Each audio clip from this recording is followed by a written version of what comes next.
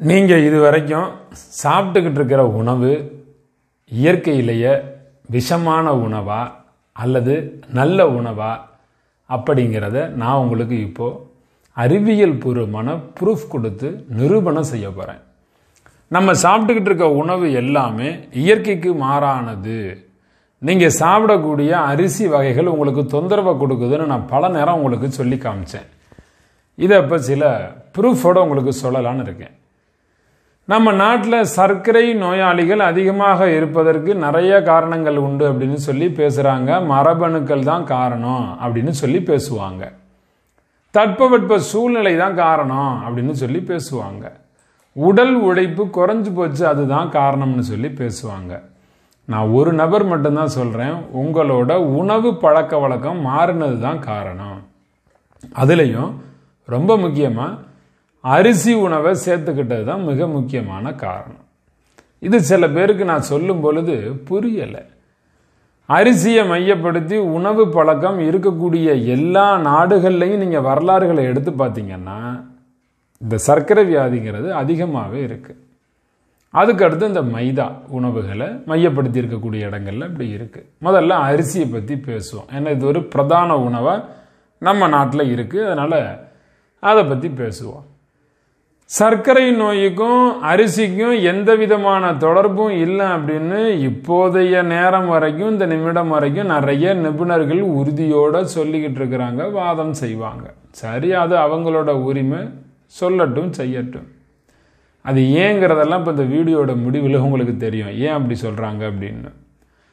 ஒவ்வொரு உணவும் வயிற்றுக்குள்ளே போய் ஜீரணமாகி எவ்வளவு சீக்கிரத்தில் அது ரத்தத்தில் சர்க்கரையினுடைய அளவை அதிகப்படுத்துது அப்படிங்கிறத கணக்கு செய்கிறதுக்கு கிளைசமிக் இன்டெக்ஸ் அப்படிங்கிற ஒரு குறியீட்டு வச்சு பயன்படுத்தி சொல்லுவாங்க.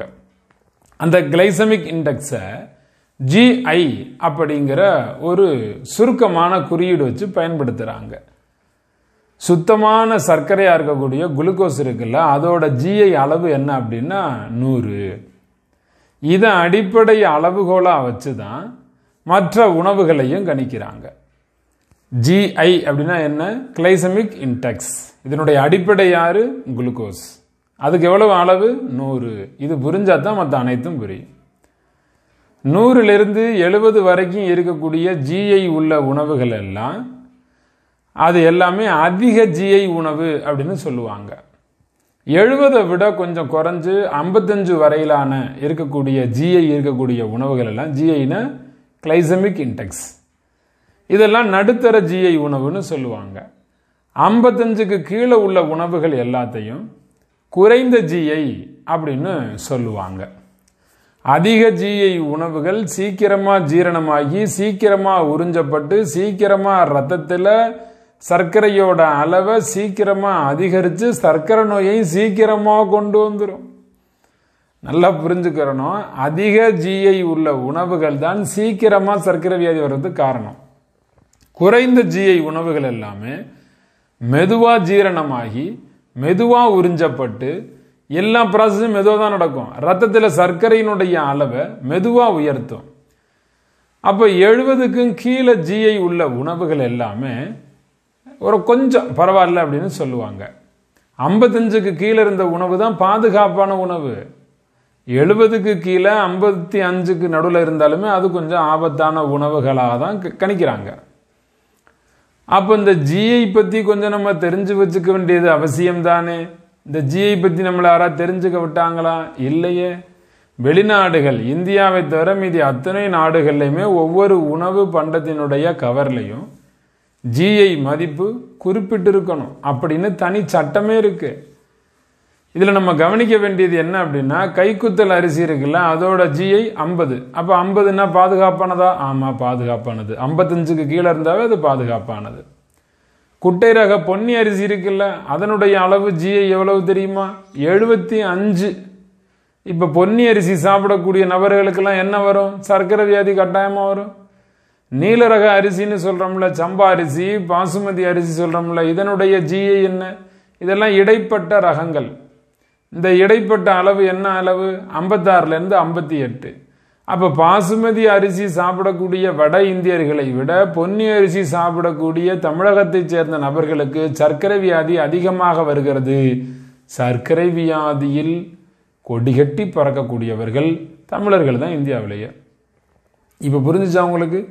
இத்தனை நாட்களாக பொன்னி அரிசி தான் வேணும் வேணும்னு சொல்லி பிடிவாதம் செஞ்சு சாப்பிட்டீங்கல்ல அதனால வந்த விளைவு தான் இந்த சர்க்கரை வியாதி சர்க்கரையை கணக்கிடுவதற்கு உணவு பண்டங்களில் ஜிஐ அப்படிங்கிறது மட்டும் இல்லாமல் அந்த மதிப்பு மட்டும் இல்லாமல் கிளைசமிக் இண்டெக்ஸ்னு சொல்லுவோம் அந்த மதிப்பு மட்டும் இல்லாமல் சாப்பிடக்கூடிய உணவினுடைய மொத்த அளவு இருக்குல்ல கால் கிலோ சாப்பிடலாம் சில பேர் ஒரு கிலோ வரைக்கும் சாப்பிடுவாங்க. அப்போ மொத்த அளவு அந்த குவாண்டிட்டி வச்சும் கணக்கு செய்வாங்க. இதை என்ன அளவில் கணக்கு செய்வாங்கன்னா இது வந்து நீங்கள் நிறைய லோட் பண்ணுவீங்கல்ல. உணவுங்கிறதே நிறைய சாப்பிட்டு உள்ளே சேர்த்து வைக்கிறது தானே லோட் பண்ணுறோம்ல அதை எப்படி கணக்கு பண்ணுவாங்கன்னா கிளைசமிக் லோட் அப்படிம்பாங்க. லோடு பண்ணி வைக்கிறீங்க. அதை கிளைசமிக் லோட் அப்படிம்பாங்க. சுருக்கமாக அதை ஜிஎல் அப்படின்னு சொல்லுவாங்க. நம்ம உணவில் பொதுவாக மாவுச்சத்து ஒரு ஐம்பது பர்சண்டோ அறுபது பர்சண்டோ இருக்கலாம். கொழுப்பு சத்து ஒரு முப்பதுலேருந்து இருபது பர்சன்ட் இருக்கலாம். புரதச்சத்து ஒரு இருபது பர்சன்ட் மொத்தம் இதெல்லாம் கூட்டி பார்த்தீங்கன்னா நூறு பர்சன்ட் வரும். ஆனால் நம்ம எல்லாரும் எப்படி சாப்பிட்றோம் அப்படின்னா உணவில் எழுபத்தஞ்சு சதவீதம் மாவுச்சத்து தான் சாப்பிட்றோம் அப்படின்னா நம்மளோட குளுக்கோஸ் சுமை அதிகம். அப்போது நம்ம எல்லாரும் என்ன செய்கிறோம் அப்படின்னா அதிக ஜிஐ இருக்கக்கூடிய உணவு அதே நேரத்தில் அதை அதிக ஜிஎல்லும் சேருது. அதிக ஜிஐ இருக்கும்போது அதிக ஜிஎல்லும் சேர்ந்தால் சர்க்கரை நோயினுடைய வாய்ப்பு அதிகமாக உருவாகிறதுங்கிறது ஆச்சரியமான விஷயமா? கட்டாயமாக வரும் தானே ரொம்ப சக்தி வாய்ந்த ஒரு நிறுவனம் அமெரிக்க சர்க்கரை நோய் கழகம். அமெரிக்கன் டயபெட்டிஸ் அசோசியேஷன் எந்த மாவு பொருளை சாப்பிட்றீங்களோ அப்படிங்கிறதெல்லாம் முக்கியம் இல்லை. எவ்வளவு சாப்பிட்றீங்க அப்படிங்கிறதான் முக்கியங்கிற ஒரு நிலைப்பாட்டை எடுத்திருந்துச்சு ஒரு காலத்தில். அதனால தான் இன்றைய வரைக்கும் நிறைய நிபுணர்கள் அரிசிக்கும் சர்க்கரை நோய்க்கும் எந்த விதமான தொடர்பும் சம்பந்தமும் இல்லைன்னு சமீப காலம் வரைக்கும் அடித்து சொன்னதுக்கு காரணமே அதுதான். இதை உடச்சி போட்டிருக்கிறாங்க உடச்சி தவிடுபொடி ஆக்கியிருக்கிறாங்க யார் தெரியுமா? அமெரிக்காவில் இருக்கக்கூடிய ஃபாஸ்டன் நகரில் இருக்கக்கூடிய ஹார்வர்ட் பல்கலைக்கழகம். சீனா ஜப்பான் அமெரிக்கா ஆஸ்திரேலியா இந்த நான்கு நாட்டில் இருபத்தி ரெண்டு வருஷமாக மூணரை லட்சம் மக்கள்கிட்ட நடத்தியிருக்கக்கூடிய ஆராய்ச்சி முடிவு தான் இந்த முடிவு. அரிசி சார்ந்த மைதா சார்ந்த உணவுகளை சாப்பிடக்கூடிய நபர்களுக்கெல்லாம் எல்லா நபர்களுக்குமே சர்க்கரை வியாதி விரைவு தன்மையில் வருவதற்கான அறிகுறிகள் உண்டு அப்படிங்கிறத நிரூபிச்சிருக்கிறாங்க. இது நிரூபணமான உண்மை. இப்போ புரிஞ்சுக்கோங்க நீங்கள் சாப்பிட்றதெல்லாம் சாப்பாட விஷமா.